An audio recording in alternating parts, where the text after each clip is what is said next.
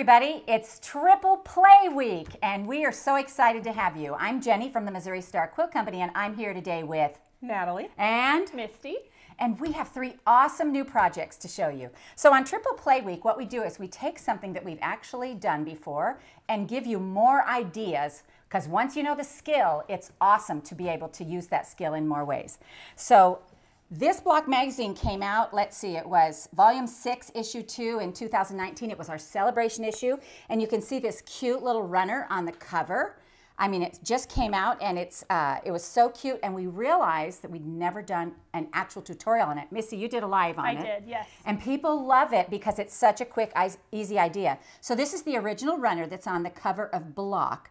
But we have come up with three new projects for Yay. you, and we hope you're going to love them. So I'm going to hang this one up, and okay. Natalie, I'm going to let you go next and introduce your project. Okay, great. So I created this cute little wall hanging.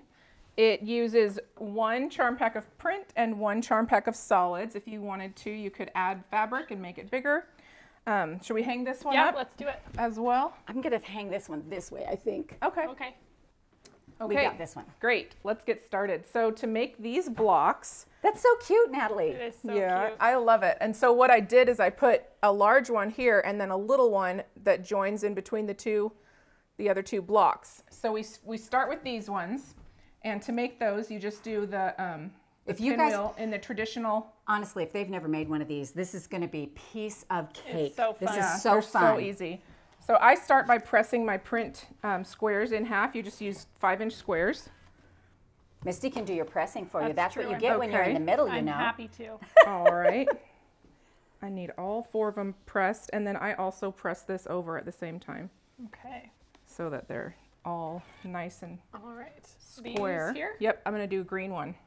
Okay. And then you lay this piece right in your bottom right corner. And it's I'm, also I'm interesting. It's also interesting to watch how these girls put theirs together because we all have different ways of sewing. And yeah. I would have laid out my four gray squares like so a four you can, patch. You can, but what um, what I found to be super easy for me is just to do these 2 uh -huh. and then the other ones I'll do identical, and then when I flip it, it's oh, yeah. opposite corners. So different brains all so think I different just, ways, and we all learn differently. And that's what's fun to me about this triple play is that we're all going to show you a different a different right, way. Right. So if you lay them out like this, what you're going to do is sandwich them together. So I actually just put it together up, you know, this one's, they're like uh, fold facing and then stitch down this side. Do you want me to sew? That'd be great. All right. So this will go together really fast. We'll do this again with the second set. Now, I have also seen people who stitch like an eighth of an inch. That's what I do. Uh, oh, okay. So I'm already yep. I'm already giving your secret away. Yep. yep. Misty stitches hers down ahead of time. I've also seen people glue. Use a glue stick oh, to that's attach a fun them. idea. I found that just laying them on top of each other like this, in, this in an opposite direction okay, goes presser. together pretty easy. So here's your next one. So I actually think you should go through, just iron one more of those pieces and go through that folding one more time. Well, but they'll, they'll see it on all of ours, won't they? Yep, yep. All right, press that one. Okay, and I'm gonna cut, these are, um, these are the pieces I'm gonna use for these little white ones in between. And I'm gonna cut both of these into two and a half inch squares from my five inch square because I want to use opposite colors. I don't I don't necessarily want them all to match. And Did you main, plan for these to be opposite? Yes. Oh, awesome. yes. I would have been like, oh, Remember how you, good I did. no, so if you do them the same, facing upright and sideways, when you flip it, when you put the, the next one on, it will automatically be opposite. Oh, that is awesome. So you don't really have to think about it too much. You can strip piece, or not, chain piece. Yeah, chain this piece. whole project. It's just pretty simple when you do it that way. Now, some of you, one of the concerns people are going to have is they're going to say, that's a whole lot of fabric to sew through. Let me tell you, this, your sewing machine can go through fingers, metal rulers, it'll go through a little fabric, so don't worry about that too much. There are things that help though, so like if, if it's really thick and it's bothering you, you can press your seams open and Absolutely. that helps a lot. It also helps a lot to make sure that your seams are going in opposite directions so that the bulk is more evenly distributed. But really I didn't have any trouble. And you can pin or you can stitch down ahead of time. There we go. All right, so let's press these ones also into The exact um, same. Yep, into little triangles and then flip the fold over. And we'll get started laying these out because this is how this entire quilt is assembled. So while Misty is pressing the little pinwheels for the centers, which by the way is the same as the large ones, I'm gonna talk about layout. So this one is a little bit tricky because you'll see that we have intersecting pinwheels in all of these. So we're gonna put them together in rows. And this row doesn't have any at the top, so we're just gonna start with these two guys down here. The next row, you're gonna have two pinwheel halves here and here and here and here. And then the bottom is the same as the top with just one side. So you really do wanna lay the whole thing out. Make sure you put your little white baby pinwheels where they go. There'll be a diagram. Yes, follow the diagram. And it is easier to put it together in rows because that's just, it just makes for easier sewing. So we'll take these top three. Help me move, move this You stuff can- out of the way. Sure, we can slide some things over. Can you guys see this real well? There we go. So these three will go this way and we'll put our little pinwheels here. These are the pieces. This one goes there and they don't have to be the same. They can all be different if you want. You don't have to even have same colors. You can mix and match and scrap it up. And then you can see that your next row will also get um, little pinwheel pieces on it. These we're going to lay out in rows and we're going to sew them together in rows. And then on the second row, we're going to be adding um, pinwheel pieces to both corners because this, this is the middle, as you'll see here. So there's ones in, in the top and bottom of both of these. And I will just keep showing these like, let's see, if I pull this to the middle, then you can get a better idea kind of of how that's going to look. And you'll want to continue putting these on all corners. So the second row gets them on both sides of, Yes. of the blocks before, yeah. So you Yeah, wanna- so you want to lay it out ahead of time because um, some of these, like this one, has them on all four sides. This one just has, you know, these two. yeah. So just okay. watch the diagram, get it all laid out ahead of time, and then when you are actually ready to sew, it's really simple. You just fold them over, fold these over, and put pins where all the little pinwheels are, and you'll have no problem. It's going to be great. an awesome So project. cute, yeah. so I think cute. it turned out really cute. It's a It is lot really cute. easier than it sounds. It is really cute, and I love the look of it. It's so darling. Yep, so happy. I love the two t- combined, and um, and I love this fabric as well. So next up, Super cute. we have Misty. That's me. Misty, I haven't seen your project you yet. haven't? No. I made this pillow. Oh my gosh, that's so cute. is so fun. cute. I just thought it would be really cute to put uh, the little pinwheels in a circle. So Oh my gosh, that's I set so them darling. that way. I love it, and it's really, really easy. Um, let's put it up here. okay. I'll just hold good. it because if, 'Kay. uh, you know, um, possession is nine tenths And of I'll the take law. over pressing if you And need I probably can All right. just, uh, if I hold on to it tight enough, I don't think they can take me. So this is really cute. my pinwheels are just like the little ones that Natalie showed. I used um, five inch squares and my fabric. I used this Uncork uh, by Whistler Studio for Windham. It's just got this fun um, kind of gold metallic on these rainbow colors. I thought it was really, really cute. And um, I just cut my five inch squares in fourths and then made the little pinwheels just like Natalie. So that's what my block starts out with. The difference is um, I wanted a little bit extra space on my pinwheels, so I just cut my background fabric into three inch strips, and these are on uh, three inch squares for my background. Um, and I put four of those together to get my pinwheel. And then the trick for this is all in the layout. And the first piece you're going to want to sew to that is a three by five and a half inch piece. And so I just sew that onto the bottom if we want to. Okay, again, that. you guys are going to get patterns for all of these. Yeah. And um, and so what you want to remember, what what Misty just said to go over again, is that she used three inch squares that she cut out of background fabric, That's right. and but her little middle her little middle pieces are still just a five inch square Yeah, cut in half. Five, You want me to press that? fours. Yeah, that'd be great. Yeah, we're here for you. We are I here love for you. it. I got now this. you probably don't want to use white thread when you're not making typically. with black. Yeah, Typically, Yeah. I Although use I have, and here's a little tip: if, if you have, if you find that you have a like a little white thread showing, like a little sharpie marker, It'll just take take it. you'll just take that right Yeah, out. Yeah, it's just It shouldn't show though if your tension is good. That's right. It, It shouldn't, but- Sometimes it peeks. In through. theory. And my in uh, in theory, and in my stitches generally just a little bigger because I don't want to have to work hard if I have to rip. Right. And so there are eight of these um, to make the circle. Oh, the same. Well, so you start with eight, and they're all exactly like this. And then on four of them for your corners, you're going to add another strip to the side, and it is three by eight inches. So this one needs one of those. So the block is identical. Yep, it's identical. And how many of those do you make? you make eight blocks just like this one, Yeah. and then on four you add that additional three by eight inch strip. And then it's all in the layout. I had no idea that was going to be that It's easy. super, That's awesome. super quick and easy. Who doesn't want this pillow on their couch? I know, mean, isn't it so happy? It's so cute. So then you can see we have, um, these will be our corner blocks. And so we'll start by putting this one in the corner, and then this one goes here. Oh wait, hold on. This one goes here. You flip it around so that you start to get that arc.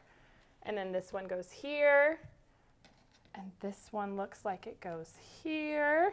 So you're just going to turn. You're these just turning the, these blocks to Oh, make your circle. And then the I'm so making one of these. isn't it so fun? Yeah. And the thing I love about it is using this setting, you can put any block here and it will just make a little circle. Right. And so the middle for our measurements is a five and a half inch square. So that's what I have right here. So that goes Do you know there. what? I can see this in a whole big quilt. I know. All those wreaths of. I know. I Oh. want to make one. And so then this guy goes here and this one here. You guys, And look just like cool that. And then you just sew them together in rows. One, two, three. And then I just quilted it up, or I had a, actually had a good friend quilt it because I am not uh, skilled in that department. And so she did yeah, some. we'll talk about that. yeah, Uh, she we'll did some that quilting, and then I used um, 14 by 21 inch uh, pieces to make kind of a overlap. an overlap in the back, and it was just as easy as that. No sweat. That's so awesome. cute. Isn't I that love fun? it. Pillows are super Yeah, I easy, love and they're Yeah. and they are really fun. and So I think fun. I think people get a little intimidated by them. You know, the But you like the shouldn't. back. Yeah. You know, it's just a crossover. And Exactly. You just want to make sure you have enough fabric that it covers up whatever you put inside. all right, all y'all got to get all your stuff out of here. All now. right. Okay, we'll move these. All right, now I got everything cleared off, and I'm ready to go. And this is my project right here. So fun. So when we get um, fabric for, you know, because it's three times the fabric for triple play, we actually get to choose from, there's quite a few we get to choose from, and sometimes we just get what we get and we don't throw a fit. And I love the uh, patriotic stuff, and this is, um, what is this fabric, Natalie? It's called Freedom Batiks. Freedom Batiks for Timeless Treasures. And so this is a great red, white, and blue line, and I used just about all of it to make this. And so what I did, you can see my little stars right here are on the ends. Now, I do that purposefully because when you make a table runner, you never want to put your pretty block here because this is where the candle goes or the bowl of fruit goes or something goes in the middle. Pro tip. Yes. So put your the blocks you worked hard on, put at the ends and make your middle. And originally I thought I would do little tiny squares in the middle, and um, and there weren't enough whites to make it work, and I was, felt like I was putting all reds together. So I actually opted for leaving them whole, cutting one set in half, and putting in two inch and a half strips in this middle part. So let me talk about these end pieces, and you can hang this up here if you want. Sure. Um, these end pieces are a nine patch, and so basically what I did was I took nine of my blue colors like, and laid them out like this. And in this pack, there were several of each color. So I made sure that they were different from, you know, end to end. Let me see here.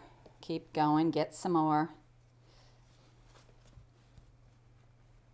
Oh, the batiks are sometimes hard to get apart. You know, they kind of stick. They have a little bit Yeah. rougher texture. Yeah, a little rougher texture. And they're probably a little hard to see on my blue mat, but oh well. All right. So then um, I have my little stars are just going to occur on these corners right here in the middles. And my little stars are um, two and a half inch squares. And so I'm just going to cut those out of, um, Right here. I just need a ruler, I got it. Oh, perfect. Um, I'm going to cut those out of this. These are two and a half inch strips. Actually, they're, they're leftover pieces from a project I was working on. I know um, th- their Kona makes a great, those little two and a half Free packs. cuts, yeah. They're Yep, great. they're so I convenient. I love those. They're so convenient. And they're just two and a half inch squares of white and black and gray that are already cut. And since I do a lot of on the corner cutting, so I'm just going to lay my whole ruler on here and cut these into two and a half inch strips. So these are, this will go away. And then these need to be pressed into, um, the little pinwheels. Yes, and so what we're going to, again, what we're going to do, I want you to look at this carefully. s- Make sure you got this. So we're going to take our square, fold it in half, just like this.